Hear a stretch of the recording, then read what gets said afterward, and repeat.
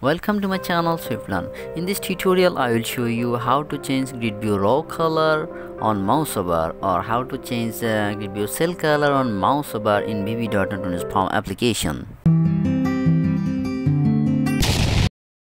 If you don't subscribe my channel yet, please subscribe and press the bell icon for upcoming videos. This is my server catalog-sbr. Now start Microsoft SQL Server Management Studio. Okay. Now connect. Uh, go to the Object Explorer. Expand the database folder and uh, my table na database name is my task db expand the task db expand the table folder okay my table name is student info underscore tab what i already created. Now select records. How many records are there in the student info tab? There are six records.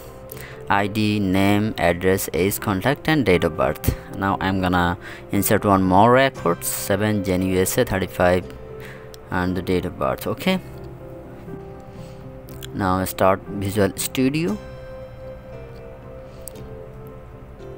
new project. I'm gonna create a new project to display how to change grid view row color on mouse over. Expand the visual basic select windows uh, name the uh, application windows form application change row color mouse over. E all tutorial folder. Okay. Now my application is created resize this form and uh, go to the toolbox and uh, add a label control. Yes this label control I will use as a title of this form. Okay now change the text of this label control.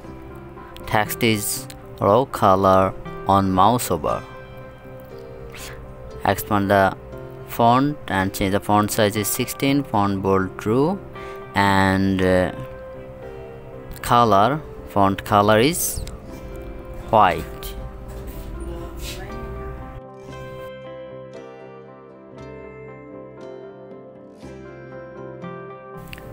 Back color select form and uh, change the back color.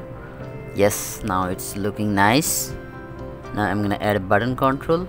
This button control I'll use to load the data in data grid view resize the button control and uh, change the font size. 12 font bold true. And fore color is button face oh yes white. And back color of this button is yes. Violet. Okay. Now change the text of this button. Load data and now I'm gonna add a data grid view control says this data grid view. Go to the button click event. Yes in this click event I will write code to load uh, data from SQL Server database to data grid view. Using VB.NET okay now dim con as new SQL can connection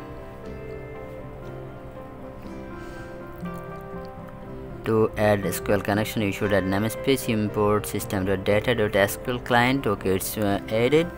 Now go to the server explorer data connection right click add connection. Server name my server name is catalog hyphen sbr. Okay and uh, authentication is SQL Server authentication. Username SA password is SQL Server authentication password and the database name my database name is my task db select my task db test connection succeeded. Okay. Expand the expand it and see that uh, student info tab id name. Okay. Now right click on the database and uh, go to the property connection string copy the connection string and paste it in uh, SQL connection. You can see now SQL command dim cmd as new SQL command. My SQL command is to select all the records from student info tab which will display in data grid view. So select star from student info underscore tab. This is my table name student info underscore tab con. Now SQL data adapter so dim sd as new SQL data adapter cmd okay now data table. Dim dt as new data table. Finally sd.fill dt okay now data grid view 1 dot data source equal to dt. Load data? Oh no. Additional login failed for user SL let's check the connection string. Uh, go to the SQL uh, connection connection string. Yes you can see here uh, ID SA is okay but password is a star. So put your password. Yes now it's okay. Debug again. Load data yes all the records displaying in the data grid view perfectly.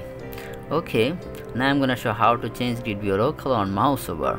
In that case select grid view go to the property click on event and uh, uh, click on cell mouse move double click on cell mouse move event. Yes the event is created data grid view on uh, one underscore cell mouse move.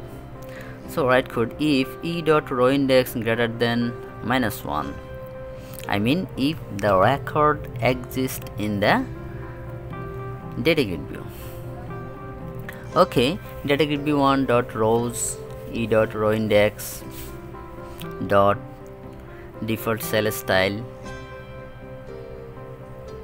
dot back color equal to color dot blue violet.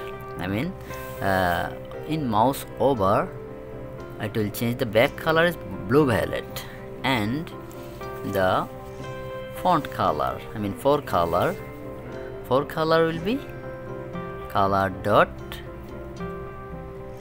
white. Okay let's debug test.